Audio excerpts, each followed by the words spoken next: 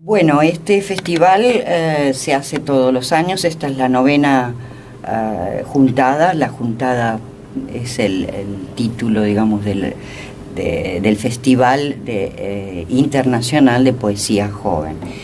Y comenzó el día 30 y va a terminar, culmina el día 4, o sea, mañana. haciendo un, así un ligero pantallazo, hemos estado en haciendo este, en la ESMA, uh, bueno, yo no, los chicos, ¿no? los jóvenes, eh, han estado haciendo una performance que realmente fue preciosa, hermosísima, en, uh, en el espacio para la memoria, ¿no? Y después este, estuvimos dos días en la ESMA. Eh, todas las noches culminamos con lectura uh, de poetas en la Manzana de las Luces, y bueno, es tan extenso el programa de, estos tantos días que a lo mejor se me, se me pierda un poco. Em, hoy este, están eh, los chicos en la cárcel eh, dando un taller para los, este, los presidiarios y este, luego vamos a estar en la Casa de Mendoza y como siempre, hay, ah, también en las escuelas hay... Eh, algunos eh, poetas que son alrededor de los 50 poetas que han intervenido en, esta, en este festival. Em, eh, bueno, hoy van a estar en, también en, colegios dando charlas. Mañana también, en charlas en colegios por la mañana, por la tarde, hasta que después, bueno, a las 18 horas, todo culmina en la manzana de las luces, ¿no?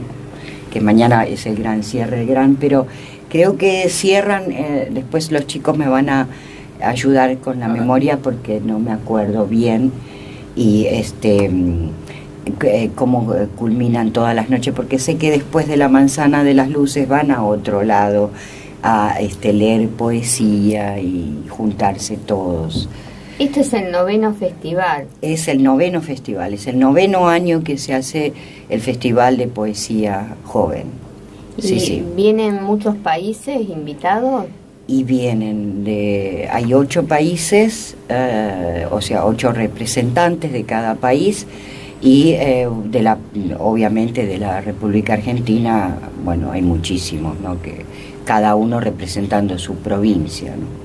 Qué bueno, la verdad que, es importantísimo que eventos como este ¿no? Eh, se hagan, se difundan y, puedan, eh, sobre todo todo lo que son los jóvenes, ¿no? que están creando mucho, no solamente acá en Argentina, sino en el mundo. Además la calidad, Claudia, la calidad que estuve leyendo, porque no había tenido oportunidad de, leer la, la antología, que por supuesto en el festival también hace una antología con este con poesía de los integrantes, de todos los que hicieron eh, o eh, digamos eh, hacen este esta la juntada, ¿no? el festival.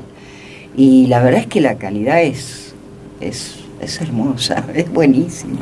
¿Y todos los años hacen la antología? Todos los años. Le, sale la antología que sale antes, o sea, la tratamos de tener para el festival, ¿no? Porque ya están mm, hablados, los poetas ya están en contacto con nosotros allá hace meses atrás, ¿no? Esto se va organizando con, mucho tiempo. Quiero decir que lo organiza este, eh, Nicolás Antonioli, eh, Juan Verón, Alejandro Pizarro, Sabrina Usach, Damián Lamana, eh, bueno, no sé si se me... Eh, Fernando Bogado, ellos son los eh, integrantes de la organización de poesía joven. Yo pertenezco ya a los viejitos, yo soy mayor de 35. Este, vengo a cubrir a, Nicolás que hoy está en la cárcel, no, no preso, sino dando taller. Y los oyentes, ¿Cómo pueden conseguir esta antología, tanto esta de, del 2017 como quizás de años anteriores? Y por el momento comunicándose con APOA y con eh, la Asociación de Poetas Argentinos, que si lo googlean ahí van a tener, sacan enseguida este eh, salen los blogs de APOA y si, no, bueno, por teléfono también, ¿no? Podemos dar algún teléfono como para que si alguno está interesado en conseguirla, es el 4932 8739 4932 8739 ahí le, le podemos nosotros este, informar como y nosotros saber a dónde la enviamos o, o quien esté interesado en obtenerla. Sí, porque es importante, ¿no? Porque hay poetas jóvenes de todas partes y, y bueno, poder conocer los textos, eh, que a veces uno eh, capaz no, hay, hay tantas personas que escriben, ¿no? Eh, en el mundo y empezar a conocerlo y poder difundir también esos poemas realmente es importante. Es muy importante, sí, sí. Y además quiero agregar algo.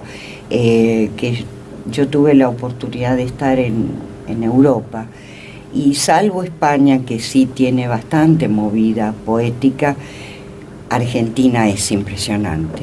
Argentina eh, está en un, en un auge tremendo con la poesía, realmente. Así que eso es, es muy importante para nosotros. La verdad que sí. Y bueno, también APOA tiene, la juntada tiene blog, ¿te acordás? Yo no. Porque ahí lo que he visto que, eh, que ponen, hacen entrevistas, eh, eh, difunden mucho realmente a, a, los poetas jóvenes. Así que bueno. Es la idea. Felicitaciones, este festival culmina. El día 4, o sea, mañana y eh, terminará alrededor de las 21 horas con sí bueno y bueno no no más que agregar quiero que ellos que son los los chicos que lean no que se presenten y lean ellos que por ellos se hace la, el festival sí ahora los voy a entrevistar eh, antes quería pasar una columna de Fabio Pinalev pero bueno, eh, charlamos con los chicos porque realmente tenemos muchísimo material. Y es, es, muchísimo el material, sí, sí. Un placer tenerlo acá en Noticias Día por Día. Cuéntenos, preséntese cada uno y cuéntenos acerca de, lo, de su poesía. Bueno, mi nombre es Ignacio Faúndez Polo, soy de Corrientes, Vine a estudiar fotografía a Buenos Aires hace tres años más o menos. Y la verdad que siempre escribí, eh, pero para mí, digamos, era como, plasmar el pensamiento que no quede en, mi cabeza, que quede en, algo escrito, que después lo pueda leer siendo más grande o en otro momento, en otra etapa. Eh, y con la fotografía me pasaba que eh, la sentía muy estática, digamos, muy quieta, y entonces empecé a escribir para completar lo que a la fotografía, en mi visión, digamos, le falta. Eh, y así surgieron. ¿Y se, puede, se puede llegar a completar esa, esa visión ¿no? de la imagen con, con la palabra? sí, en, en, una cierta parte sí. Eh, igual creo que van como por dos caminos diferentes. Eh, la palabra que va completando al, a la imagen y la imagen que va completando la palabra. Eh, y normalmente me gusta escribir sobre eh, como fracciones de tiempo, lo digo yo como, como si fuera a sacar una foto instantánea de algo, de un lugar, de algo que está pasando, de una actividad, de, de alguien que está haciendo algo, digamos. Y en el momento así de escribir, em, relacionándolo siempre con la imagen, ¿no? Em, vos, primero está la imagen y después el texto o a partir del texto vos empezás a, crear esa imagen que tenés en la cabeza. Eh, sí, eh, normalmente pasa lo contrario, que es a partir de la imagen lo lo paso al texto eh, y completo. Eh, eso. Eh, y algunas veces al, al, revés, en base a un texto que escribí o, lo, leo de otro autor, me significa hacer una foto de algo en un lugar determinado, con un objeto determinado quizás, un objeto que se me venga la, a la, a la mente cuando estoy leyendo el texto del autor. Si tuvieras que elegir entre la fotografía y la poesía, te maté. Me mataste. No, tengo un profesor que dice que la fotografía es poesía. Sí, es Eh, poesía. así que me podría quedar con cualquiera de las dos tranquilamente que eh, me gusta más la, me gusta más la fotografía igual. Eh, me siento como un, un poco más cómodo que, que en, en, en lo, en lo oral de la poesía me cuesta. Eh, ¿Qué es lo que te cuesta? y el, el- el leer un poema en- con un público me cuesta, en cambio cuando hago una exposición de fotos las cuelgo y puedo estar entre la gente y, y estoy camuflado. Pasar desapercibido. Paso desapercibido, claramente. Eh, esa parte me gusta, Eh, pero eh, son las dos cosas muy, muy lindas y podés desarrollarlas a- a un- a- sin límites prácticamente, diría yo. ¿Es la primera vez que participás en la juntada? Sí, así es. Es la primera vez. eh, estoy representando a Corrientes, soy la única persona de Corrientes. eh, así que para mí es como un orgullo y algo impensado que, que me pase, digamos. Una responsabilidad. es una responsabilidad. Una linda responsabilidad. es una linda responsabilidad. Y también estamos acá con Samir Muñoz Godoy. Hola, eh, sí, Samir Muñoz Godoy, yo soy chileno, me van a notar el cantadito. Eh, vivo hace ya cinco años acá en Buenos Aires, me vine a estudiar letras y nada, descubrí acá toda una, como indicaba Esther hace un rato, eh, todo un- toda una movida de poesía muy impresionante. Hay una cuestión de poner el cuerpo acá, hay una cuestión performática que se juega mucho el ritmo, mucho cómo uno lee que de alguna forma te cambia la manera de escribir. Yo vengo de un país donde tenemos popeyes eh, poéticos muy grandes, eh, Neruda, Mistral, eh, de Roca, y eso hace que a veces te lo enseñen con cierta solemnidad. Y aquí lo viene a conocer la poesía como un género y como una forma de arte donde uno se puede involucrar con la gente, donde uno puede transmitir un mensaje, donde uno puede transmitir una emoción, donde uno puede hacer un espectáculo también. Y eso me, me fascinó. Mi primer mundo era la escritura de ciencia ficción y fantasía, ahí empecé a escribir. Y, Y después pasaste a la poesía. Claro, hice un taller histórico sobre vanguardia, y me gustó la parte experimental de los diferentes géneros, el surrealismo, el dadaísmo y todas esas, todas esas cuestiones medias locas. Y después empecé a escribir, simplemente a escribir y, me- y ahí encontré un espacio de, de poder decir y después encontré una técnica que me gusta mucho. Me gusta mucho encontrar el ritmo, me gusta mucho el juego con los fonemas, con los sonidos de las palabras. Eh, Contanos acerca de la técnica. ¿Es importante en la creación de un poema te- eh, una técnica? Sí, sí, es muy importante. Igual hay, la- a la hora de leer, la técnica es, es de la voz. Pero a la hora de escribir, la técnica es propiamente el lenguaje en su recurso. Entonces, eh, cuando uno va a leer un, un poeta uno, o uno va a escuchar un poeta, tiene que estar muy atento que el texto escuchado y el texto leído no suenan igual. Eh, a mí personalmente me gusta mucho la parte técnica de la escritura, recién estoy descubriendo la parte de la lectura. Y en términos de escritura se juega mucho, por ejemplo, el silencio, donde uno cierra el verso, eh, con qué palabra uno rima, eh, no... ¿Y la musicalidad? Exactamente, es que eso es lo que le da musicalidad al texto. Eh, ejemplo, Neruda es muy musical, pero usa pura rima sonante. Está rimando todo el rato, pero está haciendo trampa. Uno no, uno no se da cuenta que está rimando, ¿eh? pero hay una rima metida ahí constantemente. Eh, no sé, eh, hay un poema mío que cierra con ya serán tuyas, serán tuyas, ya serán. Es un juego de sonidos con sentido y eso es escribir el primer el poema que es como esa impresión, es como una fotografía. Selecciono esto y después tenés que empezar a trabajar eso de alguna manera. Tenéis que darle forma y porque ahí se juega para mí el momento artístico también. Eh, si no, eh, uno está tomando nota básicamente de lo que nos pasa y yo creo que todos somos seres humanos los que nos pasan cosas.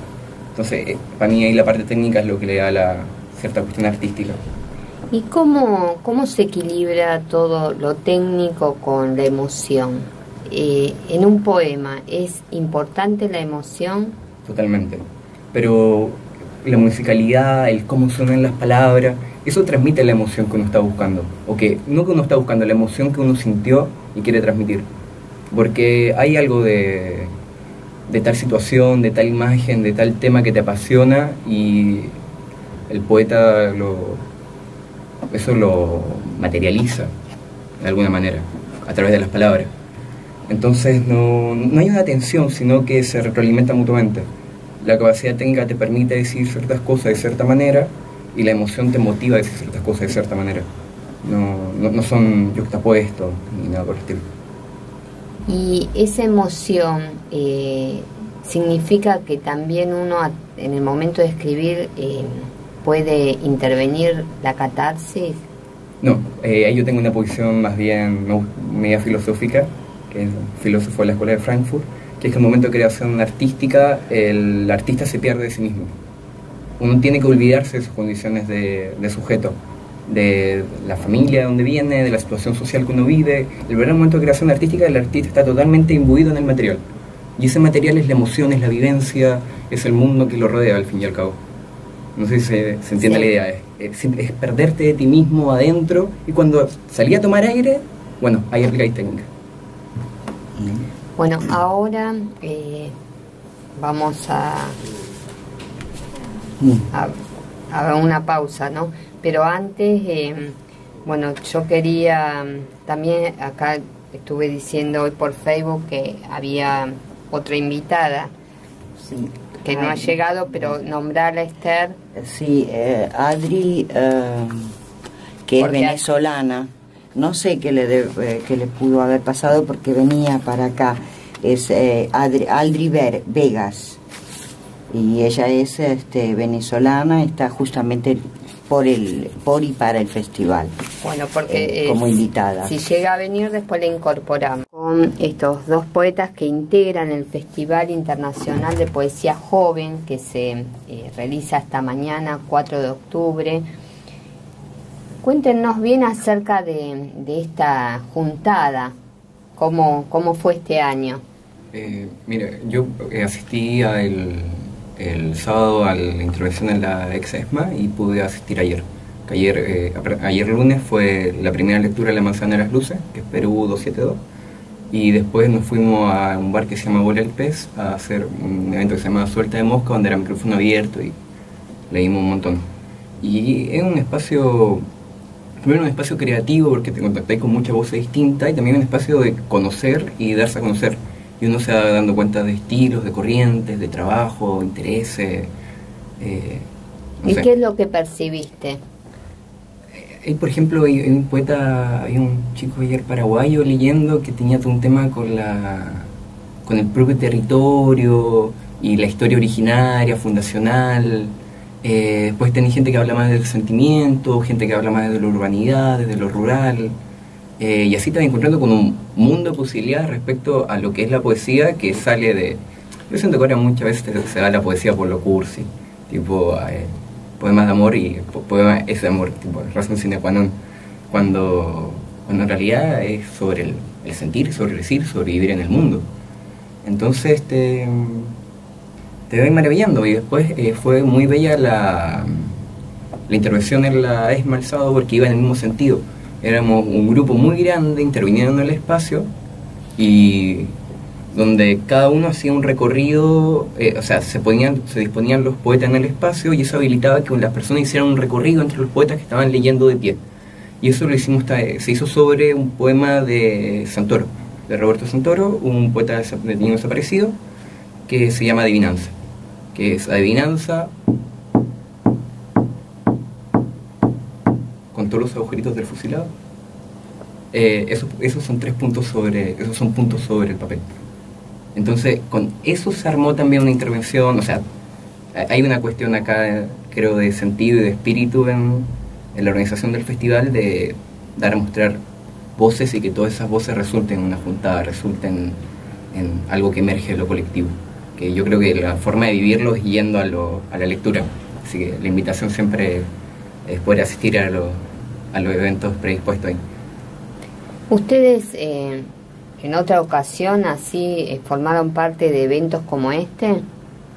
Eh, no, la verdad que eh, una, las veces que expuse en, en mis fotografías, una vez pusimos, expuse en una plaza, y, pero no tenía esta, esta cosa de festival de eh, irse a un lugar y después con todos los participantes eh, irse al, siguiente lugar y es como, ¿en qué vamos? Hay que ir en colectivo, bueno, el, desplazamiento y ese desplazamiento hacia el otro lugar también es parte del festival.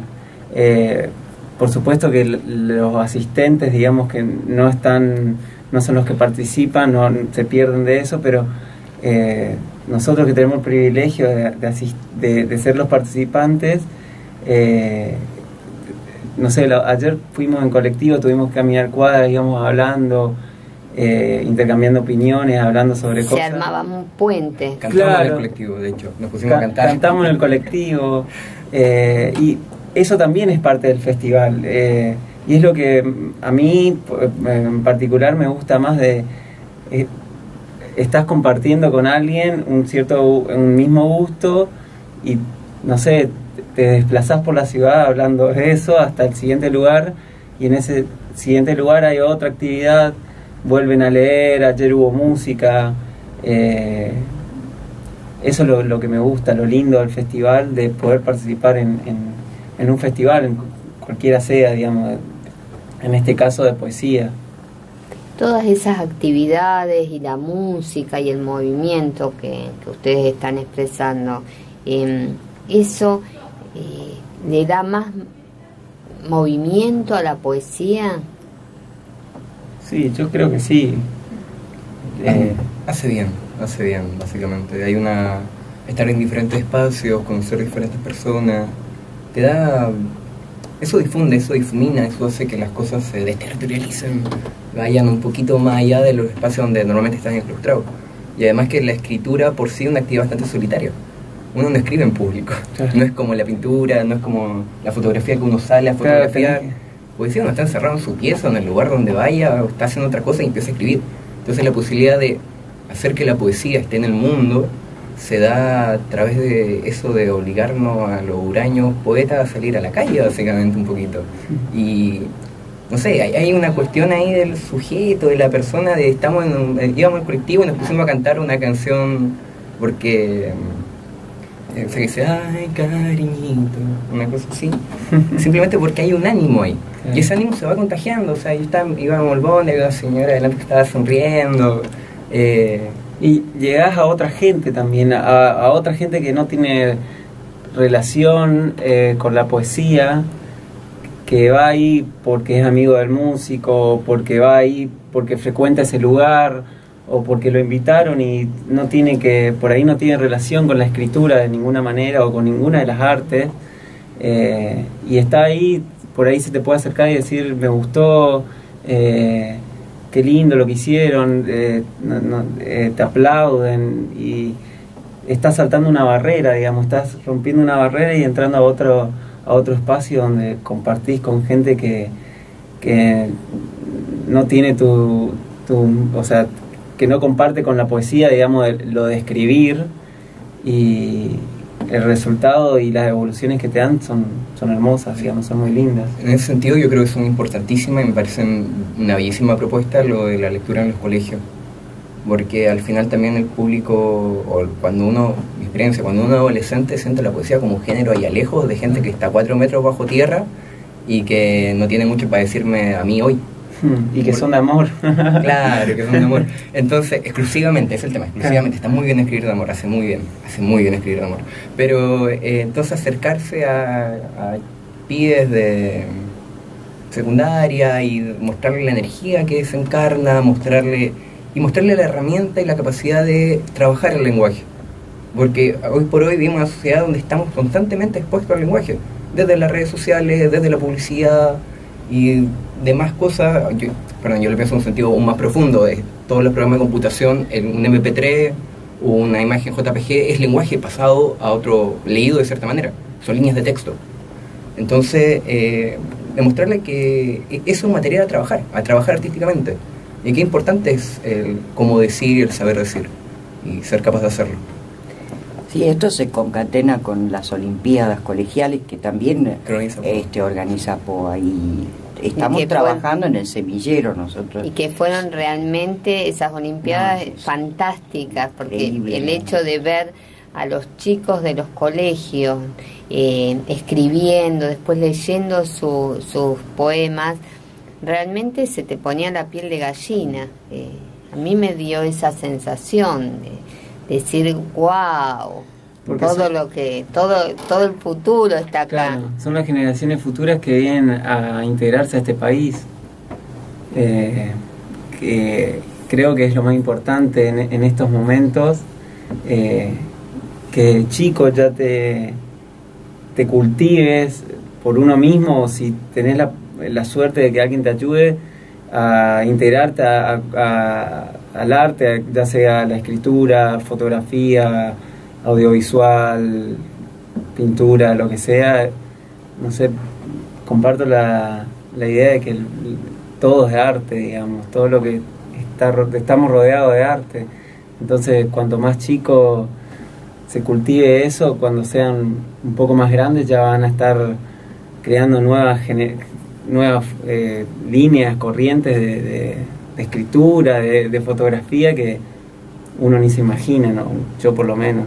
Sí. y yo quiero agregar justamente con respecto de las Olimpiadas, la calidad, la calidad de chicos que tienen entre 12 y 18 años eh, creo que vos pudiste, alcanzaste a leer que ya están subidas al blog de, las Olimpiadas, están los eh, poemas premiados. La verdad es que la calidad es increíble, son chiquitos. Bueno, Apoa quiere trabajar en el semillero y en la poesía joven. Y por eso lo, importante ¿no? del hecho, por ejemplo, de ir a las escuelas, de ir a las cárceles, ¿no? Claro, hay una cuestión de difundir. Yo quería indicar algo ahí, eh, una cuestión muy importante de difundir y hacer llegar a lugares que también son subalternos respecto al arte.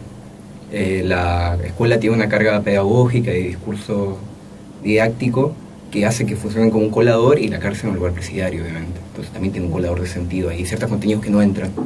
Y es importante hacerlo entrar. Eh, es lo que hace Apoa, que es lo que hace también invitando, Apoa invitando a nosotros. para mí una cuestión importante ahí también de la calidad que tú indicas que yo acá, viviendo acá, conocí una cantidad y una calidad de poetas, les poetas, eh, las, los poetas, increíble. Y cada uno con estilos muy diversos, cada uno trabajando temas históricos muy particulares, dentro de las corrientes históricas artísticas. Y yo digo, yo venía con el versito de que acá eran cuentistas la mayoría. Eh, Cortázar, Borges y, no sé. Y después descubrí acá a Girón, y otros poetas acá que me fascinaron, que son Teludi, o sea, me doy cuenta que tiene una tradición que también tienen que, enaltecer. Hay muy buenos poetas en Argentina y tienen que saberlo y hacerse cargo, y Apoa se está haciendo cargo de eso. Sí, realmente están haciendo mucho en Apoa. ¿Me quieren leer cada uno un poema de, de ustedes? Dale, eh, yo lo voy a estar de memoria. Dale, dale, buenísimo. Esto se llama 14 de mayo y es sobre un...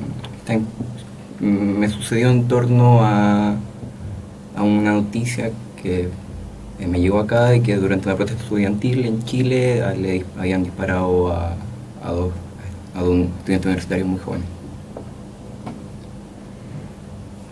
Se llama 14 de. Noches donde el tiempo te golpea ensableado en hierro, noticias que vienen tras la puerta, el día que nada duela como si todo lo pasado fuera época de otros.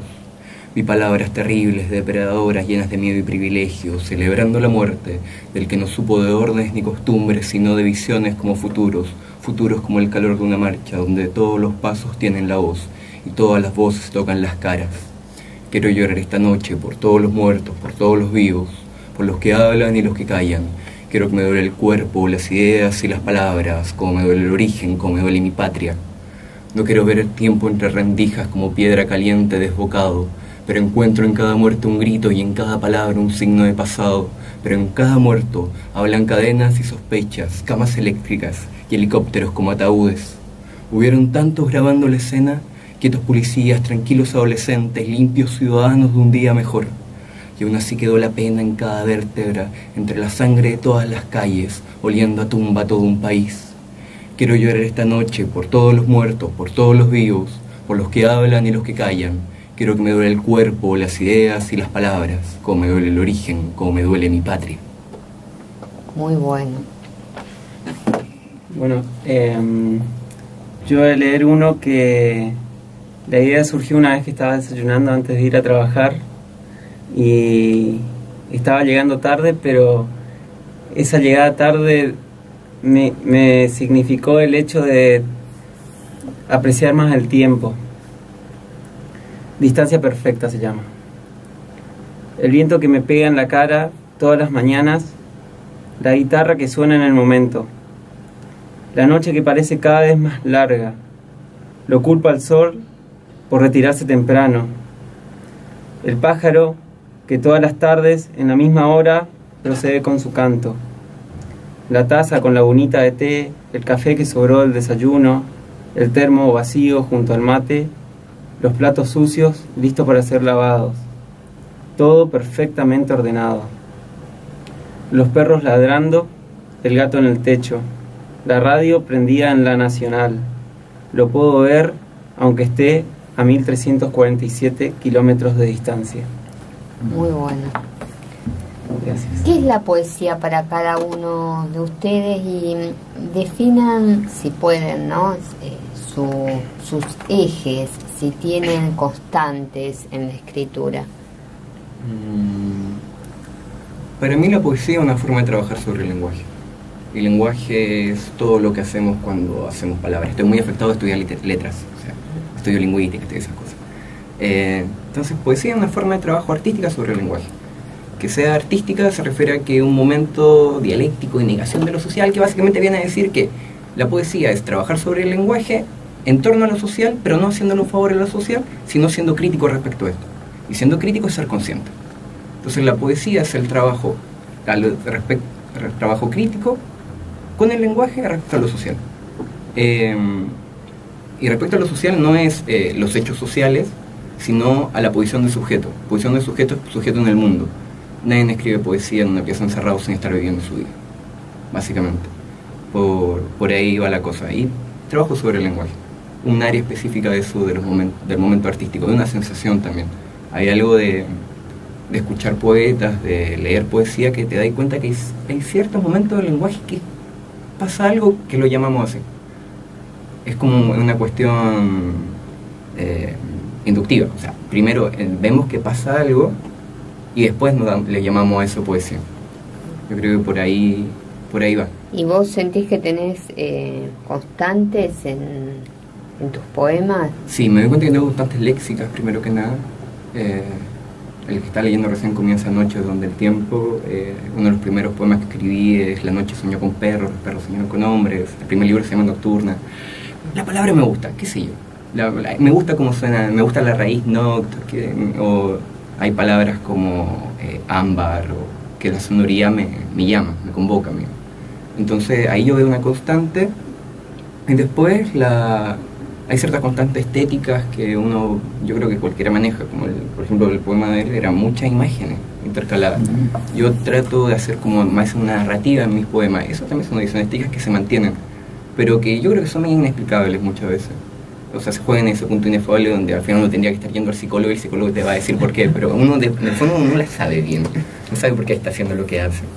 ¿Se explican las poesías? eh, se sienten y después se explican. Se pueden explicar, se puede hacer un relato en torno a ello. Pero lo que le pasa a cada una de las personas cuando escucha el poema eh, es tan variable, tan azaroso, como afecta al resto, que no sé si puede ser explicado como un objeto mecánico, eh, y- otra forma de- del ser de las cosas en el mundo. Yo creo, eh, hablando de esto de si se explica la poesía, eh, para mí en el punto en que se explica es cuando el autor de la, de la misma poesía lo lee en voz alta frente al público y si tuviste la suerte de asistir, eh, vas a notar como, como se dice ahora performance que está dando el poeta en ese momento y te está expresando lo que vos pudiste haber leído en su libro, te está expresando en vivo y en directo para que quizás lo pueden entender un poco más o quizás lo pueden entender un poco menos, digamos. Eh, es eso para mí. Pierde la magia si yo te digo, me basé en esto, escribí sobre esto, o lo, lo formulé así. Claro, o tratar de decir que una cosa uno quiso decir. Claro. Es como preguntarle a alguien que explica un cuadro. El cuadro es eso. La pintura es esa. No te puedo explicar ese cuadro. Es, es tal cual. Explícate a ti mismo. No sé, yo soy así en el mundo. Claro. No, hay como una barrera ahí de sentido que... No hay algo, no, no te puedo dar otra cosa que el cuadro para que interpretes, digamos. Claro, y si uno describe un cuadro, el cuadro ser el cuadro. Cuando empieza a escribir los, los pigmentos, la técnica y demás cosas, pero eso no hace al cuadro. Lo que hace al cuadro es esa cosa que tenía ahí adelante que te está diciendo, wow, ¿quién pintó esto? Lo mismo, que lo que hace el poema no es qué palabra elegiste, cómo rimaste, cómo hiciste ritmo, sino que es ese wow, mirá lo que están haciendo con el lenguaje. ¿Y cómo definirías tu poesía? Como le pregunté a él, ¿tenés eh, constantes? Yo lo describiría como visual, como acá me, descubrió el amigo. Eh, y la verdad que no, una constante quizás pueda ser la naturaleza. Eh, me atrae mucho la naturaleza y encuentro la naturaleza en, todo. Voy caminando y me doy cuenta que me, me va resaltando, digamos, lo natural de- del paisaje y, y lo natural del paisaje urbano. Por ejemplo, estar viviendo acá en, en Buenos Aires, yo en Corrientes hay mucho campo y te encontrás con que haces 15 kilómetros 20 y ya estás en el campo y tenés como otra perspectiva y acá caminas 15 kilómetros y to- todavía estás en, en cemento, digamos. Eh, le encuentro lo natural a, a- a- a lo que me rodea, básicamente. Y en base a eso voy escribiendo, eh, como te decía, quizás eh, el, punta, el puntapié inicial para una para uno de mis poemas sea una palabra o algo que me suceda o una acción o algo que esté viendo en un momento y me signifique algo y, y lo haga. Me gusta escribir sobre los objetos también. Eh, la forma de los objetos es, es algo que me fascina. Bueno, ya culminando la entrevista, eh, les pido que con una palabra cada uno me defina su escritura. Una palabra. Eh, yo puedo decir campo. Campo. Voy a ir por campo. Urbanidad. Bueno, muchas gracias. Por favor. Realmente un placer que hayan venido y nos contaron sobre la juntada del noveno Festival Internacional de Poesía Joven. Muchas gracias, Esther Pagano, Bueno, por APOA, todo lo que está haciendo. Muchas gracias. La noche sintió a los hombres temblando sobre cada cuerpo, y no pudo mover sus brazos, y no pudo morder sus labios, y lloró por cada estrella. Entonces los perros aullaron a la luna, y la luna se abrió en la mañana. Del primer óvulo bajó una mujer para enseñar a los hombres a soñar por la noche. La germinación. Exorbitante como tormenta inesperada, atenuante como trompada, inquieta como talluelo en un día de viento. Té de las cinco, saluda a tu madre a la mañana y a tu abuela por la tarde. Llamá si es necesario, duerme cuando estés cansada, pero sabe diferenciar el cansancio del aburrimiento. Mirá la hora mágica siempre que puedas, no desperdicies el oxígeno alrededor tuyo. Té de las 5, saludá a tu madre por la mañana y a tu abuela por la tarde. Llamá si es necesario.